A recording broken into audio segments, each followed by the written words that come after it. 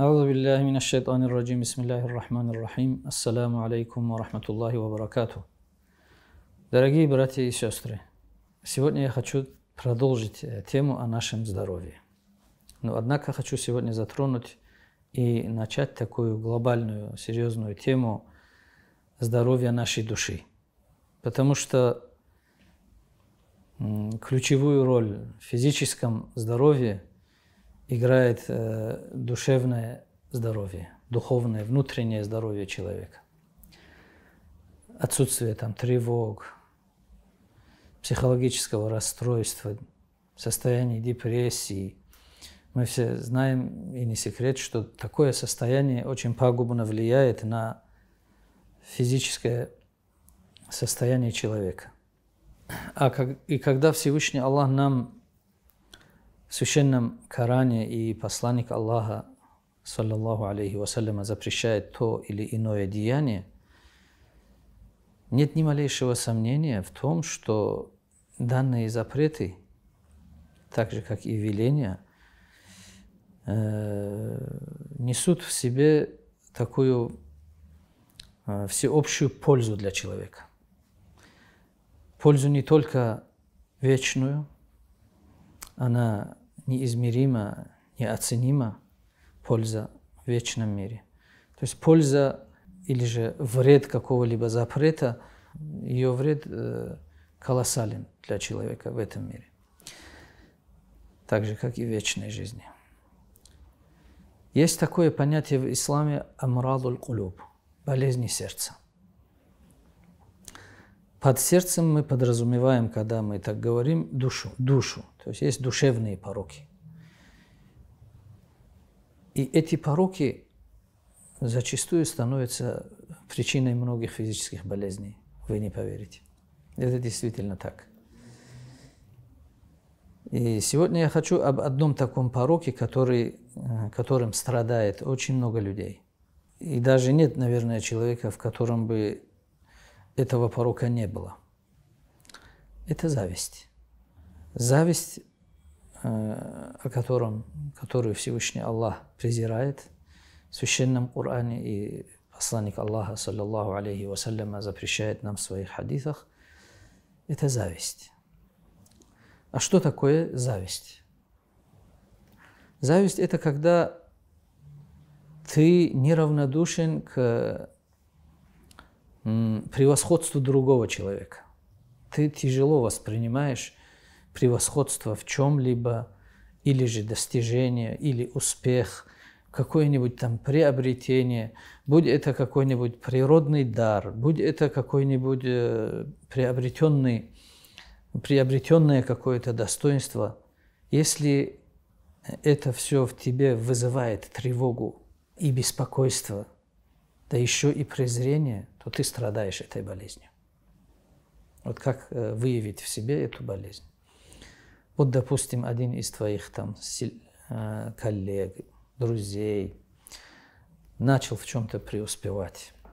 И он, его дела пошли в гору, он что-то приобрел. То есть, как ты на этого человека в душе внутри смотришь?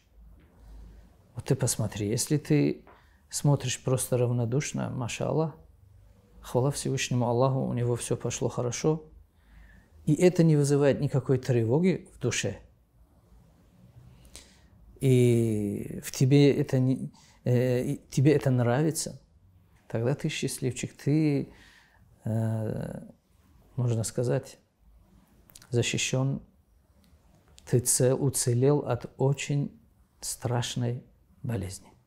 Но если же ты ощущаешь, когда ты видишь какое-нибудь там превосходство, успех другого человека, то же самое. Вот вместо этого чувства ты начинаешь ощущать дискомфорт, начинаешь чувствовать презрение. Да еще и э, желаешь, чтобы с ним возник, у него возникла какая-нибудь неудача, э, чтобы его настигла какая-то беда, тогда твой диагноз – это страшная болезнь хасад, то есть зависть. Ты будешь страдать. То есть этой завистью жертвой этой зависти, то есть пострадавшим, первым пострадавшим от этой болезни являешься ты сам. Потому что в первую очередь ты попал под презрение Господа Всевышнего. Затем ты презренен посланнику Аллаха, саллиллаху алейхи вассалям. Ты заслуживаешь презрения всего общества. Общество, завистник никогда не, не будет пользоваться почтением, уважением. Есть такое высказывание, одна мудрость, «Аль-хасуду ля ясуду». Завистник никогда не станет господином. Я э, не говорю о том, что это редкое заболевание, это заболевание распространенное. Сказано, что «Махаля джасадун мин хасад», то есть ни одно тело, говорит, ни один человек не защищен от зависти. Однако достойные его преодолевают, э, его подавляют, борются с ними, с ним – а низкие его проявляют. Так наша задача состоит в том, чтобы суметь перебороть это мерзкое, очень низкое, подлое вот это чувство. Почему Всевышний презирает завистника? Так потому что он недоволен э, распределением Господа Всевышнего. Э, любое достоинство, любое благо, э, оно от Всевышнего Аллаха он распределяет его когда угодно, и кому угодно, и сколько угодно. И никого из, ни, ни у кого из своих рабов он об этом не спрашивает. Поэтому Всевышний Аллах презирает такого раба. Это чувство нужно подавлять, бороться с ним, а также зная, что любое достоинство, дарованное Всевышним Аллахом, будь это мирское богатство, будь это власть, э, будь это там, успех какой-то, э, это все испытание. Это испытание Всевышним Аллахом. И даже если все это э, будет у тебя, тоже не повод восхищаться, а повод насторожиться. Поэтому бороться с этим пороком нужно с верой во Всевышнего Аллаха. И главное бороться с этим. Степени зависти различаются. Самая легкая степень – это когда ты э, что-то неприятное ощущение, когда ты видишь э, такое, и ты это подавляешь, борешься с этим. Это хвала Всевышнему Аллаху, ты на верном пути. Вторая степень – это когда в нем, в сердце зависть присутствует, э, но тебе удается скрыть его. Другая степень – это когда в тебе э, сидит эта зависть, ты не можешь его скрыть, и проявляешь ты его на словах, э, в своем поведении. И самое худшее, самая мерзкая степень зависти – это когда эта зависть толкает тебя на злорадство, на вредительство, э, на преступление – для этого ты можешь на кого-то заявить, э, на кого-то посплетничать, поспособствовать увольнению кого-то, поспособствовать причинению какого-то вреда, да и сам просто взять в руки какой-нибудь, поцарапать машину. Это самое подлое проявление зависти, когда зависть становится причиной преступлений. Но есть и хорошая зависть, о которой посланник Аллаха, саллиллаху алейхи вассаляма, нам рассказывает в своем хадисе. То есть зависть, она страшная болезнь.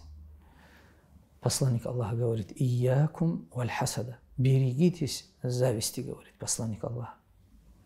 Берегитесь зависти. Фа инналь хасада якулю хасанат, кама такулю нару хатаба. Воистину, зависть сжигает благие поступки, подобно тому, как огонь сжигает дерево. Смысл в чем этого хадиса? То есть, э, каким бы ни пытался стать благородным в делах завистник, он будет презренен. Его дела будут тщетными. А в судный день он потеряет всю награду за свои благие деяния. Посланник Аллаха, саллиллаху алейхи вассалям, сказал, к вам просочились беды прежних, сказал посланник Аллаха, саллиллаху алейхи вассалям. Аль-хасаду аль-багдаа зависть и ненависть, презрение друг к другу. Человек, который страдает завистью, он, естественно, я возвращаюсь к тому же сказанному, что он первый пострадавший, потому что он не знает покоя, потому что как, куда бы он ни посмотрел, везде он найдет повод позавидовать. Потому что нет ни дня, что, нет ни секунды времени, чтобы Всевышний Аллах что-то кому-то каким-то образом кого-то не выделил. И это причиняет большую боль завистнику. Он все время переживает. Если он что-то будет делать, то это от зависти. Если он будет зарабатывать, то от зависти. То есть этот человек страдает. И это может причинить ему большой физи- вред его здоровью. Поэтому, дорогие братья, давайте учиться завидовать правильно завидовать белой завистью. Что такое белая зависть? Есть зависть э, запретная, порочная, и есть зависть э, добрая. Это когда мы видим человека, который преуспел в благом. И мы хотим также преуспеть в этом. Но при этом мы не желаем ни малейшего вреда этому человеку.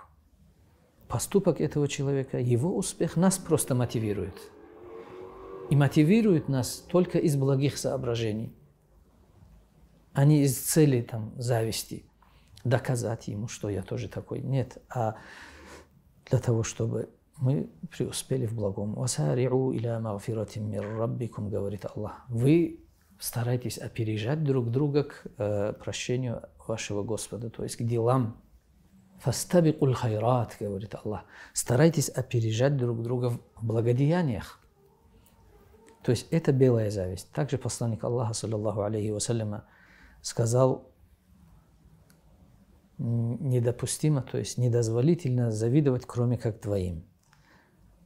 Раджулюн атаху Аллаху хикматан, то есть человеку, которому Всевышний Аллах даровал знание и мудрость, фахуа якли биха байнан наси ва который живет соответственно этим знанием и мудростям – и распространяет эти знания. И второму человеку, говорит посланник Аллаха, человеку, которому Всевышний Аллах даровал мирское богатство и позволил ему расходовать его на истине.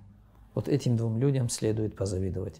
То есть белой завистью. Речь идет о белой зависти. То есть есть зависть белая, есть зависть порочная, которая всегда стоит за многими бедами в этом мире. Зависть стала причиной кровопролития, причиной краха сообществ, дружб, разводов. Дорогие братья и сестры, наше здоровье, наше благополучие в этом дуне и в вечном мире зависит от чистоты нашей души.